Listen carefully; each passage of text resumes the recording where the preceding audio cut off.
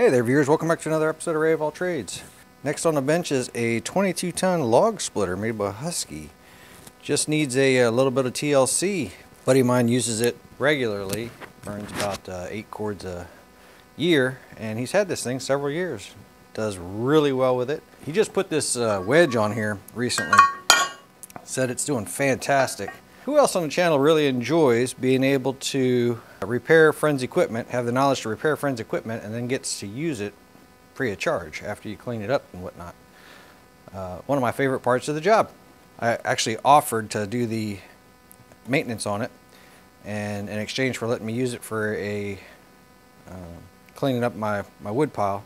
Let's get this thing cleaned up and then do some uh, do some maintenance to it and get it ready for him so he can continue using it and so that it's ready for the uh, for his next outing.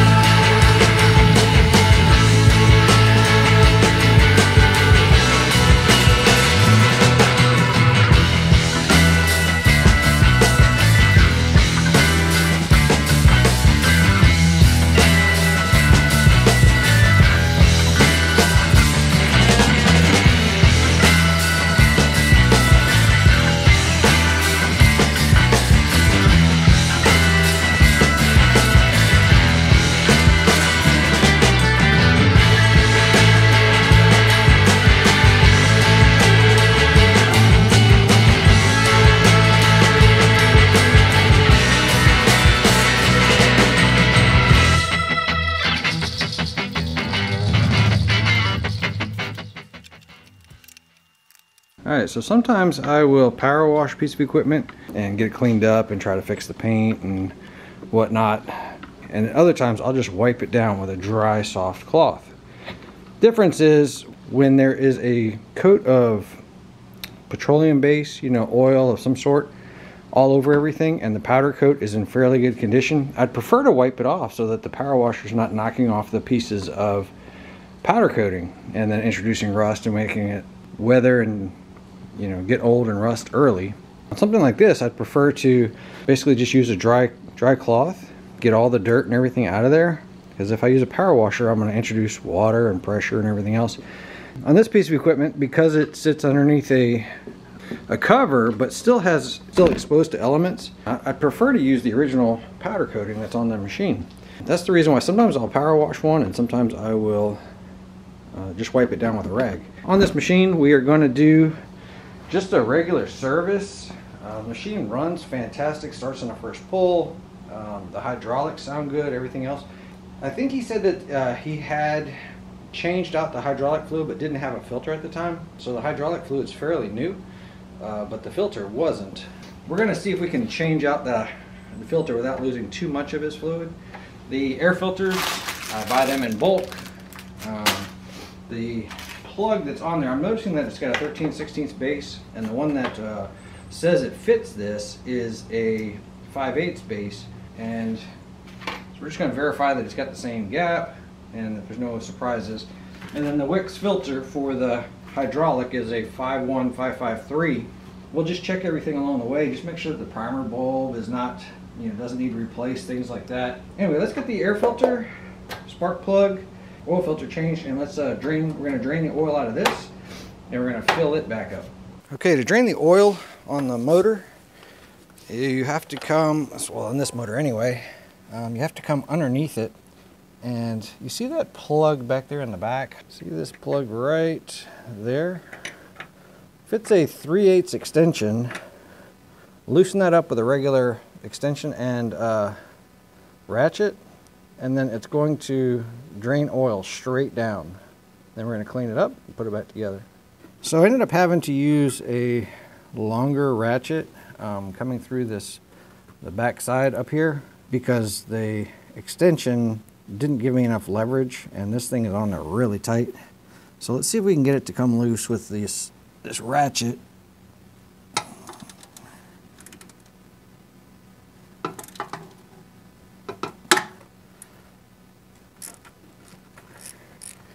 And now that she's loose, I can use the ratchet to, or the extension to get to there. Make sure you have a drain pan underneath it.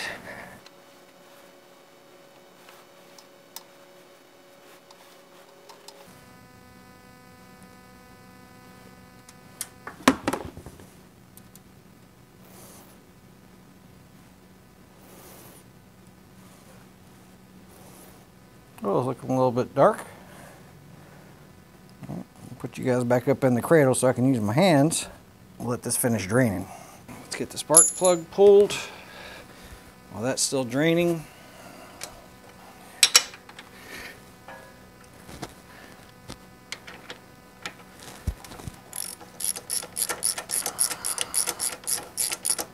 Okay, I'm showing an RJ19LM plug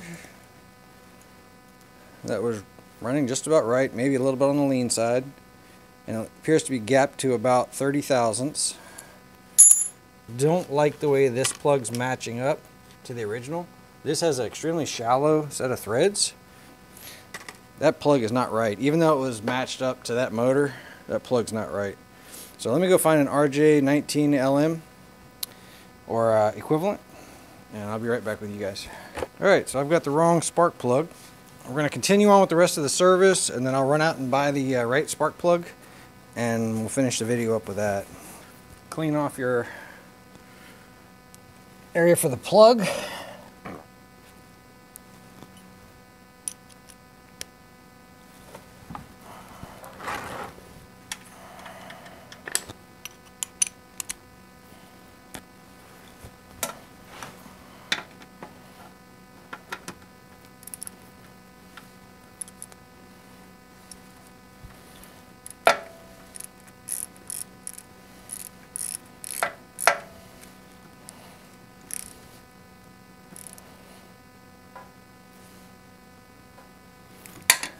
Okay, whenever I'm not immediately moving to filling the oil, I always pull the dipstick out and leave it out somewhere near the starter so that I have to bump into it to try to pull start this thing.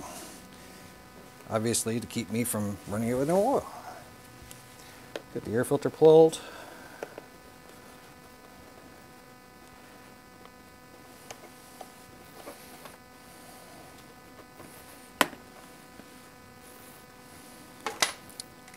Yeah, she's she's pretty well spent. Um, so I'm going to use a rag and wipe this area off so no debris ends up inside the carburetor. And then this uh, the cover I can bring outside and use an air compressor and blow it off because it's not going to introduce anything into this uh, carburetor.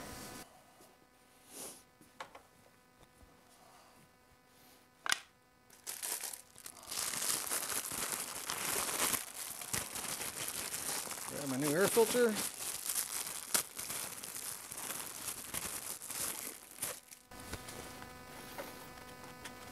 Make sure it fits. Plug it back in. There's some debris up in here. Um, that the carburetor's covered, let me plug the uh, spark plug hole real quick move the oil out the way. We're gonna blow some of that debris out of there because I can't really get that with a rag.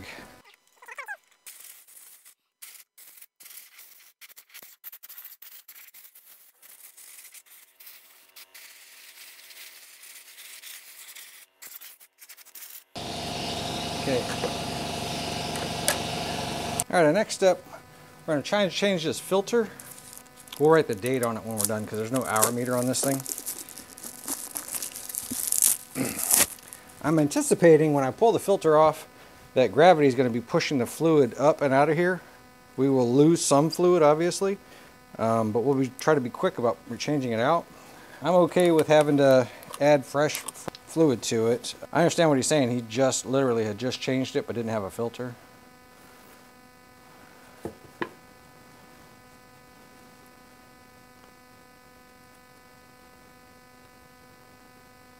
We'll have the filter ready to rock as soon as that other filter comes off of there.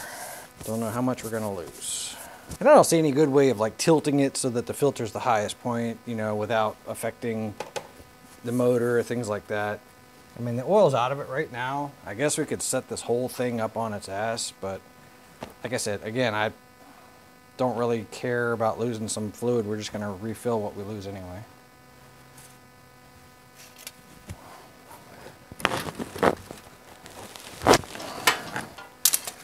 Just have the other one ready to roll.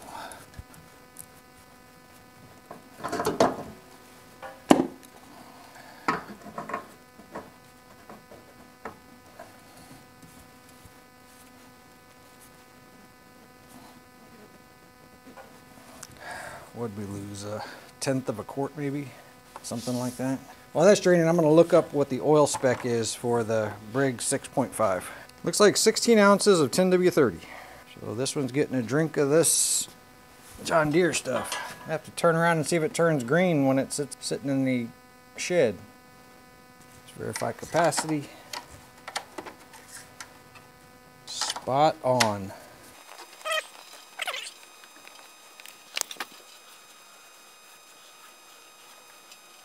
Zero one twenty three.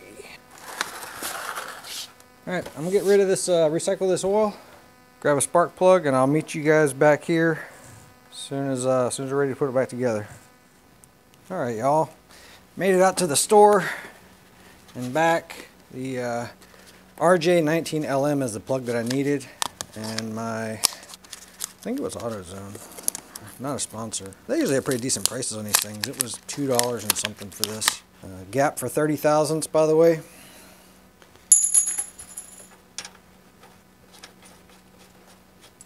So,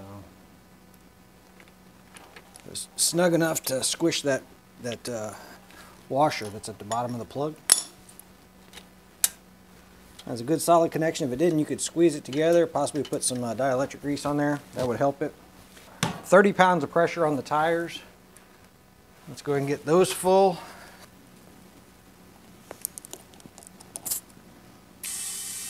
Let's check the hydraulic level. You guys ever seen the uh, skit or uh, the meme or picture, whatever you want to call it, of the mechanic that's got all of his wrenches lined up on the wall and it's, you know, all the way from 6 millimeter all up to like 24 millimeter and all it is is a whole bunch of whole bunch of uh, adjustable wrenches all set at different sizes and it would say like 10 millimeter anyway I always got a kick out of that one Trying to get the threads off here. There's there's dirt. The further out I unscrew that, the more dirt shows up. Let's try to be gentle about taking that out.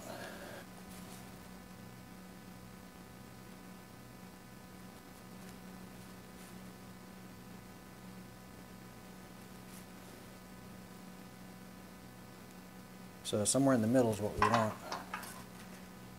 So right at the fill line, so I'm going to get some uh, 10W30 hydraulic oil, fill it back up. Once that's full, we're going to test several functions. Number one, we're going to pull the pin up here, tilt this up, make sure that that moves up and down without any kind of issue. We're going to make sure that the hydraulic ram goes all the way down to, it won't hit the bottom, but it'll be pretty close. Make sure that there's, nothing, there's nothing sticking on the down push. When you let go at any point in time throughout the travel, you want that cylinder to completely stop. Then when you put it to the up position, it should stay the up position. When it fully retracts, it should push this back to the neutral position after a slight uh, engine dip. So we're going to make sure that all those work. And finally, um, we're going to make sure that the shutoff switch kills the motor like it's supposed to. Let me get some hydraulic oil. So hit all the lube points, all the pivot points, the, even the latch up front. I went around back and grabbed a really ugly piece of wood that I've been using to cut the uh, test chainsaws with. The only reason why I had to push on that is because my bad boy buggy is lifting up on the front. If you haven't seen those series, I, that's something I'm really proud of lately. Let's give it a few primers. One, two, three, four. Let's move it to uh, run, rabbit. Feels like it might have a choke position all the way at the front. As I don't see a different choke. So I feel like a little click up here at the very, very end. I think that might be choke. Let's give it a try.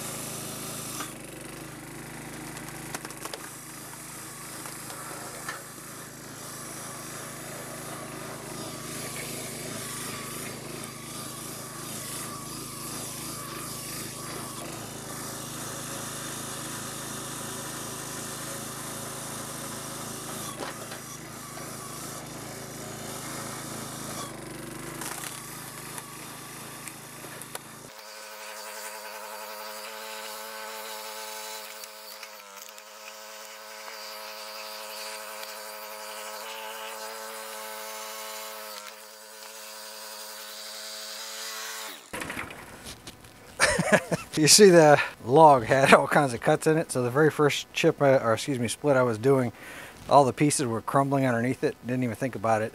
Let me go and put this thing back. Uh, looks like it's working just like it's supposed to. Safety features, easy start.